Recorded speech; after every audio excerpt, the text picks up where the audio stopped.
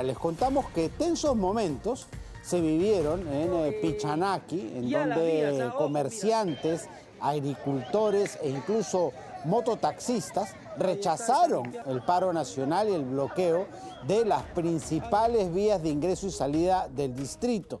En medio de enfrentamientos, los transportistas intentaron, enfrentándose a los manifestantes, desbloquear la entrada al puente de Pichanaki para poder garantizar el tránsito de camiones que mueven alimentos a los distintos eh, lugares de la región.